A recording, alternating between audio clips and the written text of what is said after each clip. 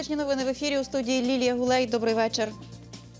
Поблизу НАУ у Києві з наземного пішохідного переходу під колеса трамвая упав чоловік. Це сталося на вулиці Василенка. Очевидці бачили, як чоловік залишив на мосту рюкзак, недопиту пляшку пива і стрибнув просто на рейки. Вагоном його відкинуло на кілька метрів. Кілька хвилин він іще був живий, але травми виявилися несумісними з життям. Наразі рух по лінії швидкісного трамвая заблоковано. На місце події виїхала наша знімальна група. Подробиць чекаємо до випуску о 19-й годині. Уряд надав можливість Нафтогазу знизити ціни на газ для населення уже з цього місяця. Відповідне рішення ухвалили сьогодні. Відтак, якщо кон'юнктура газового ринку демонструє зниження цін на газ для промисловості, Нафтогаз зобов'язаний продавати і- для населення блакитне паливо за ціною, що визначається як середньоарифметична. За прогнозами Міністерства енергетики та вугільної промисловості, тенденція до зниження ціни на газ спостерігатиметься в Україні до грудня 2019-го, тобто до кінця року. І це дає підстави знизити газовий тариф для населення. Опалювальний сезон у Києві завершується у суботу. Про це під час прес-брифінгу повідомив заступник голови КМДА Петро Пантелеєв. Почнуть із житлових будинків, заклади соціальної сфери відключатимуть від опалення лише за індивідуальними заявками, тобто за рішенням адміністрації установ. Ольга Киселевич у деталях. Вже за кілька днів синоптики прогнозують у столиці стабільне тепло, тож комунальники вирішили дочасно завершити опалювальний сезон.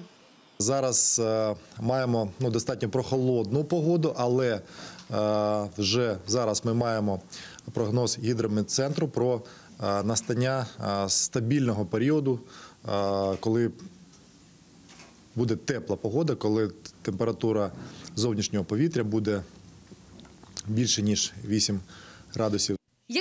Заклади соціальної сфери відключатимуть від опалення лише за їхніми заявками. Цей опалювальний сезон був першим для комунального «Київтеплоенерго», адже раніше у селі киян обігрівало приватне підприємство. І під час нього стали зрозумілими всі недоліки та проблеми, зокрема виявили та усунули майже 6 тисяч пошкоджень теплових мереж. В першу чергу трубопроводи теплопостачання, опалення, гарячого водопостачання знаходяться в край незадовільному стані. Тому ми підготували на цей рік масштабну програму модернізації теплових мереж і обладнання. Виділено більше ніж 500 мільйонів гривень на, на роботи по заміні мереж і плануємо більше 130 кілометрів мереж замінити до початку наступного опалювального сезону. У «Київтеплоенерго» кажуть, 80% мережі столиці вже давно вичерпали свій термін експлуатації. Тому на часі покрокова її заміна на сучасну. Після кінця опалювального сезону е, перекладки теплових мереж, як вже було сказано, це більше 120 е, таких об'єктів буде. Е, Будуть застосовуватися для теплоносія труби попередньо ізольовані. Вони зразу на заводі гідроізоляція, теплова ізоляція, йде провода аварійної сигналізації, які будуть е, зразу сигналізувати, якщо йде протікання чи затікання. Ці трубопроводи е, до 40 років е, виробник дає їм гарантію. Одразу по завершенні опалювального сезону місто почне готуватись до нового. Ольга Киселич, Олександр Гончаренко, телеканал Київ. Воїни-добровольці Києва вперше отримають пільги та матеріальну допомогу на рівні з іншими учасниками бойових дій на Донбасі. Про це повідомила заступник голови КМДА Марина Хонда. За її словами, на виконання цільової програми КМДА Турбота на зустріч киянам вже найближчим часом здійснять понад 26 тисяч виплат. Розмір допомоги 5 тисяч гривень на одну особу. Кошти будуть перераховувати на картку киянина. Виплати можуть отримати і члени сімей військових добровольців, які перебувають у полоні або зникли безвісти, якщо вони звернуться до КМДА. Ну а родини загиблих або померлих учасників бойових дій на Донбасі, як і рідні загиблих чи померлих учасників революції гідності, отримають на рахунок картки киянина по 25 тисяч гривень щорічної допомоги. За роки війни на Донбасі з 2014-го загинуло більш як 9 тисяч воїнів, і втрати щодень ростуть. Лише вчора на передовій загинуло двоє: кулеметниця Яна Червона з позивним відьма і молодший сержант Олександр Мілютін з позивним дід. Обоє служили в окремому штурмовому батальйоні Донбас Україна і загинули в результаті прямого попадання у бліндаж снаряду з гаубиці калібру 152 мм. У кулеметниці Яни залишилося двоє малих дітей 8 та 9 років. Учора також іще двоє бійців зазнали поранень. З них 28-річний у вкрай важкому стані. У нього чисельні осколкові поранення голови, очей, тіла, обидвох ніг. До шпиталю хлопця доправляли, здійснивши кілька переливань крові. Загалом учора окупанти здійснили 15 обстрілів уздовж усієї лінії розмежування, застосовували важке озброєння, міномети та артилерійські установки. Жоден обстріл не залишився без відповіді. Наші бійці знищили е, трьох окупантів, вісьмох поранили. Від опівночі на передовій обстрілів не було, принаймні до опівдня. І від початку цієї доби, станом на 12 дня в районі проведення операції об'єднаних сил, обстрілів з боку російсько-окупаційних військ поки не фіксувалося. Втрат у лавах українських військовослужбовців за поточну добу немає. Ситуація знаходиться під повним контролем підрозділів Збройних сил України. 99,99% протоколів опрацювала Центральна виборча комісія. Усього однієї сотої відсотка не вистачає, аби вже завершився електронний підрахунок голосів. Затримується лише одна дільниця в Обухові. Водночас продовжують надходити до ЦВК оригінали протоколів. Там просто безперервно стукають печатки. Чули ми під час попереднього включення. Ну і дізнаємося, яка ситуація зараз. Аліна Матвійчук на прямому зв'язку. Вітаю, Алін. Тобі слово, що на табло і скільки протоколів вже у ЦВК. Вітаю Лілію, вітаю, шановні глядачі. Одразу хочу зазначити, що наразі показати табло наживо вам не можемо, адже триває засідання у ЦВК. А під час е, засідання, як е, ви вже сподіваюсь, знаєте, не можемо виходити у прямий ефір наживо саме з зали засідання. Тож наразі маємо такі цифри. Як уже е, ми знаємо, лідирує у такій гонці президентського е, за стіл президента за, за крісло президента, можна так сказати. Е, Володимир Зеленський він має понад 5 мільйонів 700 тисяч голосів е, за це 30,24%. І друге місце посідає у голосуванні Петро Порошенко. Він має понад 3 мільйони голосів. Це 15 е, 15,95%.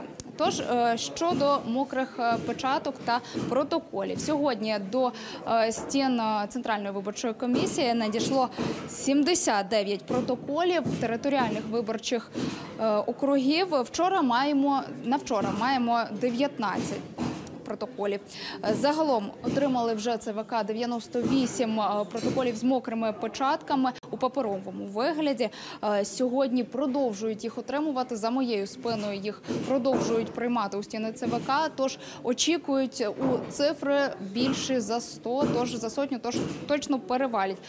Скільки будуть працювати, поки не знають. кажуть, готові працювати безперервно і навіть без виходу на, на сон, навіть можна так сказати. Тож зараз оброблюють е, вже почали оброблювати закордонні округи. Якою ж буде ситуація надалі? Будемо повідомляти вам у наступних випусках. Ліліо, тобі слово. Це наразі вся інформація. Дякую тобі, Аліна Матвійчук. З останньою інформацією з центру виборчкому. Отже, 98 протоколів з мокрими печатками вже завезли до ЦВК. ЦВК працює безперервно, стомилася і комісія, і наша журналістка Аліна Матвійчук. Але будемо стежити за цією подією і далі, адже це важлива подія для усієї України. Тож, можливо, результати, попередні результати виборів будемо знати вже до наступного випуску. Масштабну пожежу у Чорнобильській зоні ліквідували о сьомій ранку. Гасили полум'я понад добу. Трав'яний настил загорівся біля селища Поліське. І охопила пожежа близько 20 гектарів. Палали і десятки відселених напівзруйнованих будівель. Близько п'ятої вечора вчора пожежу локалізували, ну а вже сьогодні вранці вогонь повністю приборкали. Вдалося рятувальникам загасити і торфовища під Києвом. Займання сталося напередодні у селі Михайлівка Рубежівка Києво-Святошинського району. Причину пожежі мають з'ясувати фахівці. І маленьке зайченя врятували з вогню на Київщині. Рятувальники гасили суху траву біля Бородянки, коли помітили налякану тваринку у вогняній пастці. Пожежники ризикнули просунутися у полум'я, яке стрімко поширювалось через сильні пориви вітру, але зайчика таки врятували. Зараз ним опікуються ветеринари. У Дніпрі побільшало риби. На Оболонській набережній у воду випустили 5 тисяч товстолобів та 6 тисяч коропів. Перед зарибленням підводні мисливці очистили дно водойми, а небайдужі містяни разом з дітками прибрали прибережну зону. Загалом зібрали більше 20 мішків зі сміттям. А від 1 квітня в Україні діє нерестова заборона на вилов риби. Нагадуємо всім любителям рибалки і не лише їм. Під час нересту не можна проводити вибухові роботи, видобувати піщано-гравійну суміш, розчищувати русла річок. За порушення, які завдають істотної шкоди рибам мою під час нересту, передбачений штраф до 3400 гривень або обмеження волі до трьох років з конфіскацією знарядь промислу і усього вилову. Електронний рецепт така новація запрацювала в Україні. Від 1 квітня пацієнти, які користуються урядовою програмою Доступні ліки, можуть отримувати медпрепарати від серцево-судинних захворювань, діабету другого типу і бронхіальної астми за електронним рецептом. Пацієнт отримує унікальний номер рецепта і код підтвердження на номер мобільного телефону. І ці дані він має надати провізору, аби отримати ліки. Електронний рецепт дає лише сімейний лікар, терапевт або педіатр, з яким у пацієнта підписана декларація. Сімейні лікарі на сьогоднішній день мають можливість виписувати електронний рецепт е, е, по програмі Доступні ліки в е, сучасному електронному вигляді. На сьогоднішній день до системи вже підключилися 789 аптек. Майже 800 аптек це більше 5 тисяч локацій по всій Україні. Електронний рецепт е, по програмі Доступні ліки виписується тільки в електронній формі, але він може роздруковуватись і передаватись пацієнту в роздрукованому вигляді. Як працює електронний рецепт і які недоліки нової системи вже проявили себе? Дивіться у наступних випусках СТГН. Відзавтра у Києві стартує прийом дітей до перших класів. Другий рік поспіль усі першачки навчаються за єдиним державним стандартом. І під час вступу до школи для шестирічних дітей більше не проводять конкурсний відбір. За кожною початковою школою торік закріпили мікрорайон. Діти, які там мешкають, мають гарантоване право на першочергове зарахування. Також таке право мають рідні сестри і брати дітей, які вже є учнями конкретної школи, діти працівників відповідного навчального закладу та випускники дошкільного підрозділу цієї школи. У департаменті освіти і науки зауважують, прийом заяв та документів до перших класів триватиме до 31 травня. Цього року до столичних шкіл підуть понад 33 тисячі першачків за попередніми підрахунками. Тему набору до школи обговорюватимуть завтра у програмі Київ Live. Третина міського бюджету столиці третину міського бюджету столиці спрямовують на освіту. Про це повідомили на колегії департаменту освіти і науки під час звіту про виконання цільової міської програми Освіта Києва. За останні три роки фінансування галузі зросло на 10 мільярдів гривень. За ці кошти вдалося збудувати і реконструювати близько 20 навчальних закладів, утеплити їх і встановити камери відеоспостереження. Також успішно впровадити інклюзію. Плани на наступні роки освітяни ще більш амбітніші змінити систему харчування, подбати про безпеку закладів і забезпечити технічну підтримку, аби директор школи не перетворювався на завгоспа. За 4 роки ми більше 20 е, садочків е, збудували, е, порядка 10 шкіл і не зупиняємо темпи. Реконструюємо, будуємо, ми постійно створюємо нові місця. Зараз намагаємося змінити систему харчування в закладах освіти. На сьогодні ми забезпечуємо максимальну безпеку в закладах освіти. Відеокамери встановлені у всіх наших школах і садочках. І наше завдання забезпечити також фізичною охороною наші заклади освіти. Це те, на що робиться сьогодні акцент. Це звичайно е, про що сьогодні говорилося. Це е, технічне оснащення і технічна підтримка закладів освіти. 40 шкіл міста Києва, а це кожна десята, заповнено учнями менше ніж на 50%. Для того, щоб е, ці школи підтримати, будемо створювати підпрограму в величезній програмі, яка буде називатися Школи росту. Будемо допомагати менеджерам підняти навчальні заклади, а мається на увазі престижність і покращити е, якість освітньої послуги, щоб до них хотіли йти і їхати. А вже у травні у столиці відкриють перший гуртожиток для сиріт віком від 15 до 23 років. Якраз зараз там завершується ремонт. Мешкати у гуртожитку будуть винятково хлопці, тож дизайн нового інтер'єру закладу відповідний. У будівлі розташовані 11 спалень, спортивна зала, кімната для навчання, хол, кухня. Усе світле, багато дерева, вже закуплений посуд, плити, пилососи, пральні машини. Гуртожиток називають місцем соціальної адаптації дітей-сиріт. Він підстрахує у житловому питанні, поки його не вирішить місто. У нас е, кожен черговий адміністратор попереджений, і це включено до його посадових обов'язків. Всі вони жінки, всі вони вміють готувати, знають, як працюють побутові прилади, і вони повинні підказувати, вони повинні інструктувати, можливо, якийсь рецепт підказати, можливо, в чомусь допомогти. У нас е, 2365 дітей-сиріт. З них десь 360 стоїть на квартирному обліку і максимально за дорученням міського голови вони отримують е, квартири, але є велика кількість проблем для дітей з 15 років. Як правило, це діти, яких вже не усиновлюють, да, які не потрапляють в родини, е, їм потрібно житло. Більше про новий заклад, скільки він може прихистити мешканців, розкажемо у наступному випуску новин о 19-й годині. Власне, до того часу прощаюся з вами, а далі Євгенія Золотоверха про спортивні події дня. Залишайтесь.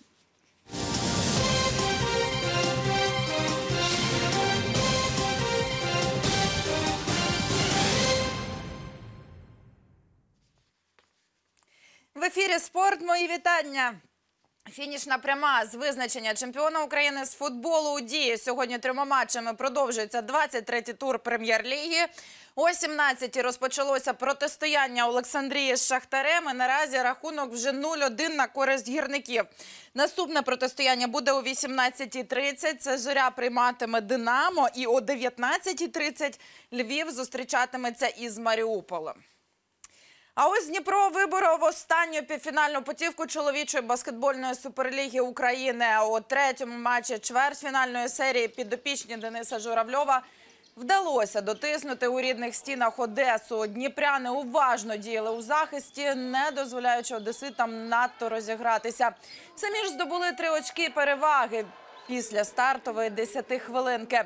Другу чверть господарі також почали з потужного тиску. Фесенко взяв на себе гру і тричі поспіль результативно завершив проходи під кільце суперника. Загалом Дніпро до великої перерви здобув сім очок запасу. По перерві у гостей більш результативно і агресивно почав діяти лідер команди Мейсі, але його індивідуальних здібностей виявилося замало для того, щоб кардинально змінити хід подій. Зрештою, Дніпро переміг 91 на 81 і в півфіналі зіграє із хіміком.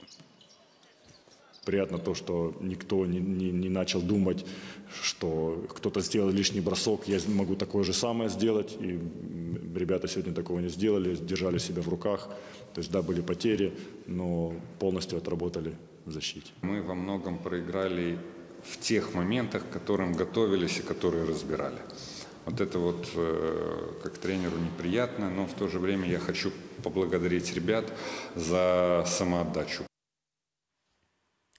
І святкував перемогу інший Дніпро у першому матчі фінальної серії плей-офф української хокейної ліги.